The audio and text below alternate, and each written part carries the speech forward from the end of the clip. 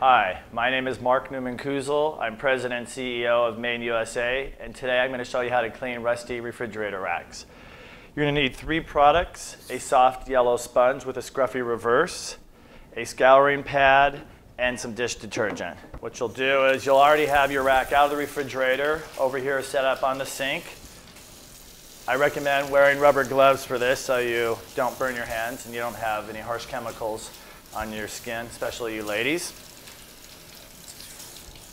Get some of my soap on here, just a teeny bit. Kind of loosen it up. You can see that rust on there. Put some elbow grease and it comes right off.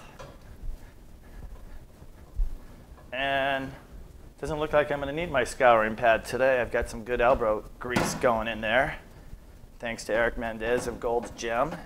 Just rinse that off. Of go up and down here like you're playing a harpsichord over at the LA Symphony. Rinse that off a little. Just get my water device back in there.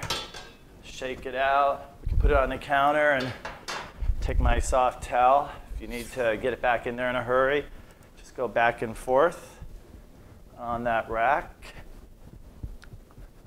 And voila, that's how you clean a dish rack in a refrigerator. My name is Mark Newman Kuzel of Maid in USA.